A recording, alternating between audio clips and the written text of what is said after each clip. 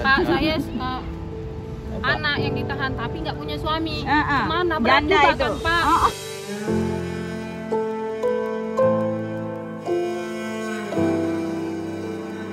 selain daripada suami-suami ada satu orang juga masih kelas 2 SMA dan itu sudah kita mohonkan di awal penangkapan mereka untuk dapat ditangkap karena dia kelas 2 SMA walaupun kelas 2 SMA memang umurnya sudah 18 oh ya sudah 18 itu pun sudah kita mohonkan dari awal kan tapi sampai sekarang juga tidak digubris oleh Polresta Barelang dan itu sangat kita sayangkan juga.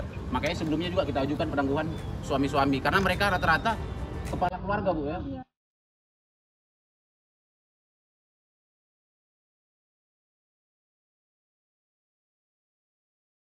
Selamat pagi, terima kasih kawan-kawan media yang telah hadir di Pengadilan Negeri Batam pada hari ini, hari Kamis tanggal 19 Oktober 2023, yang di mana kami dari tim solidaritas, tim advokasi solidaritas nasional untuk Rempang pada hari ini tanggal 19 Oktober 2023, kami akan mengajukan upaya hukum terkait dengan penetapan tersangka saat kejadian tanggal 11 September 2023 di kantor DP Batam terkait dengan demo aksi solidaritas untuk Rempang. Jadi pada saat itu ada yang ditangkap dan ditetapkan tersangka oleh Polresta Barelang maupun Polda Kepri. Jadi terkait dengan itu kami juga sudah menempuh upaya-upaya hukum yang diatur dalam undang-undang. Salah satunya menga- mengajukan permohonan penangguhan penahanan terhadap para tersangka yang kami dampingi yang sebelumnya juga dihadiri oleh istri-istri juga di Polresta dan sampai sekarang sudah kurang lebih dua minggu tidak ada juga tidak ada respon dari Polresta terkait dengan permohonan pengalihan penahanan atau penangguhan penahanan karena pada saat itu juga ada jaminan daripada keluarga. Jadi pada hari ini juga karena tidak ada respon dari pihak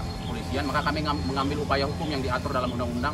Jadi hari ini kami akan mendaftarkan gugatan pra peradilan ke Pengadilan Negeri Batam untuk menguji terkait dengan penetapan tersangka, penangkapan dan penahanan kepada mereka yang ditangkap pada tanggal 11 September 2023. Jadi hal tersebut merupakan yang diatur di dalam undang-undang yaitu untuk menguji terkait dengan penetapan tersangka yang mereka emban sampai saat ini. Jadi hari ini kami akan mendaftarkan dan nanti biar pengadilan yang akan mengadili terkait dengan apakah sah atau tidaknya proses penetapan tersangka, apakah memenuhi bukti permulaan yang cukup terkait dengan penetapan tersangka kepada mereka maupun penangkapan dan penahanan. Jadi nanti kami daftarkan ke pengadilan biar nanti pengadilan negeri Batam yang mengadili terkait dengan upaya hukum yang kami atur. Yang paling terpenting bahwa upaya hukum yang kami lakukan ini upaya hukum yang memang dijamin dan dibenarkan oleh undang-undang. Daripada kita bersih tegang dan sebagainya ya.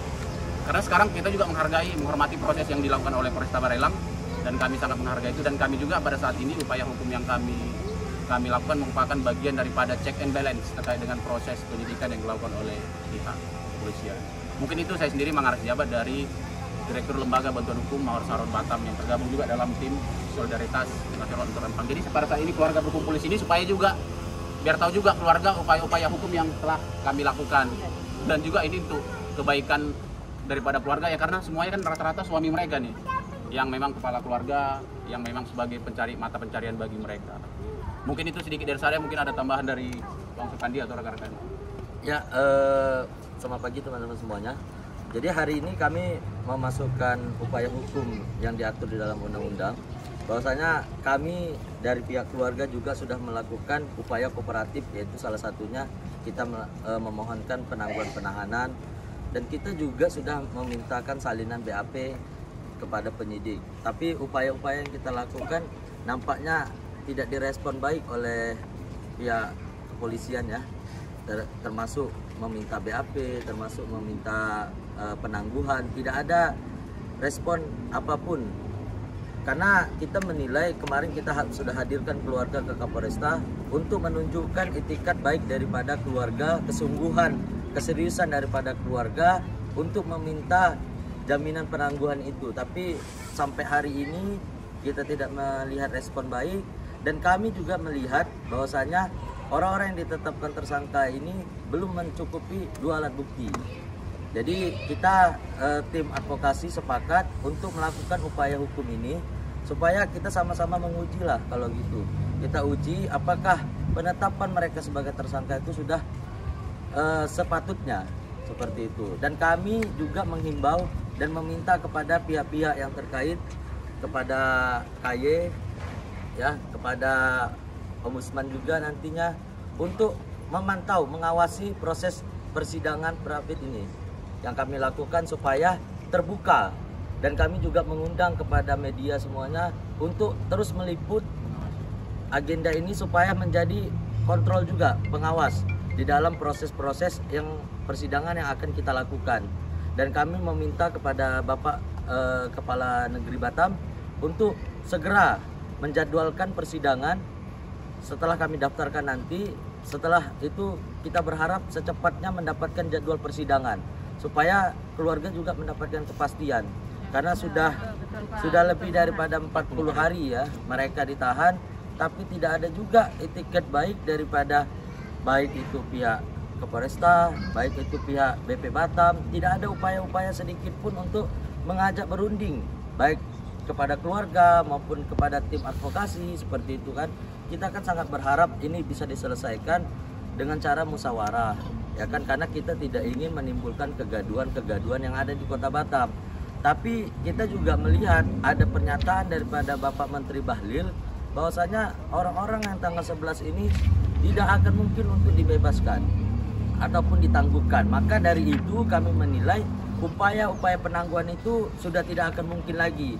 Makanya kami akan mencoba dengan upaya hukum yang yang diatur oleh undang-undang yaitu melakukan upaya hukum rapid seperti itu. Itu mungkin dari saya ya, Supandi. Tolong aku minta satu permintaan. Tolong libatkan atas nama pelajar.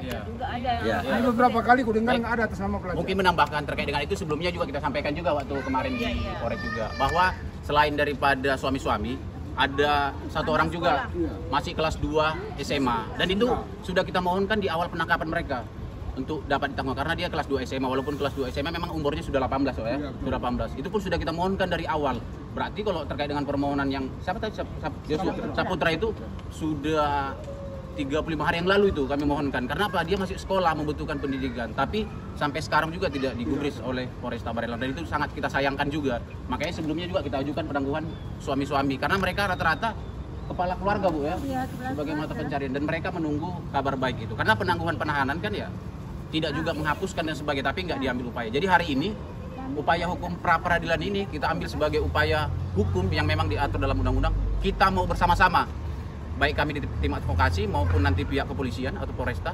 menguji apakah sudah tepat penetapan tersangka yang mereka kenakan kepada para tersangka tersebut. Terkait dengan materi gugatan permohonan mungkin nanti itu terma- termasuk dalam materi gugatan yang nanti akan kita daftarkan kita buat dalam permohonan pra peradilan yang nanti akan sama-sama kita uji yang akan diadili oleh hakim pada pengadilan negeri Mataram. Saya rasa kita hormati semua proses hukum yang ada karena ini yang diatur dalam undang-undang. Karena bapak ini juga sangat menunggu kehadiran anaknya sekolah. Ya sekarang ya terkendala sekolahnya kan. Mereka ini juga menunggu Makan-makan suami-suaminya. Gitu. Mungkin itu yang bisa kami sampaikan. Mungkin Ya. ada Eh, terakhir mungkin dari kami eh, semuanya kami meminta doa dan dukungan kepada masyarakat eh, di Indonesia ini bahwasanya bagi siapa pun yang merindukan akan keadilan di bumi pertiwi ini kami meminta semua dukungan dan doanya. Mudah-mudahan keadilan di bumi pertiwi ini tetap akan hidup dan kami percaya di sinilah tempatnya masih ada keadilan itu. Jadi kami yakin pengadilan negeri Batam masih bersih dan tidak ada intervensi terhadap putusan-putusan pengadilan negeri Batam dan kami harap juga tidak ada kepentingan-kepentingan di pengadilan negeri Batam ini yang berkaitan dengan eh, pembangunan Rempang Eco City ini. Itu yang kami harapkan sehingga bisa eh, memuluskan eh, ataupun mengadili perapid perapidana ini dengan cara yang seadil-adilnya. Itu aja. Terima kasih. mungkin ada. Dah. Eh, selama eh, 40 hari penahanan apakah eh, berapa kali udah mengajukan eh, penangguhan? Ya, terkait dengan penangguhan itu kemarin kita ajukan satu bundel permohonan dengan ada jaminan dari keluarga juga semuanya. Kemarin bersama-sama juga kan dengan keluarga Kapolres dua minggu yang lalu. Kita sudah ajukan dan kemarin langsung diterima oleh kita kemarin mau jumpa Pak Kapolres. Cuma Pak Kapolres bersedia tapi karena ada kegiatan terlalu terlalu lama menunggu akhirnya dikirim Pak Wakasat Reskrim. Pak AKPTO akhirnya diterima Pak AKP, AKPTO permohonan penangguhannya tapi sampai sekarang kita nggak ada mendengar kabar apa pun dari keluarga pun nggak ada respon apa pun terkait. Makanya kita mengambil upaya hukum untuk kepastian hukum dan untuk menguji juga proses yang dilakukan polisi. Ya kalau mereka merasa sudah tepat ya ya alhamdulillah. Tapi itu sama-sama kita uji di pengadilan negeri Batam. Dari 35 ada berapa yang kita ajukan untuk pra Untuk untuk yang kita dampingin ada 30 orang. Jadi memang hari ini kita hanya mendaftarkan yang 30 orang yang kita dampingi. Karena eh, untuk mendaftarkan upaya hukum ini kan harus ada kuasa daripada orang-orang yang kita dampingin dan kita hanya mendapatkan surat kuasa dari 30 orang yang hari ini minta pendampingan. Seperti itu.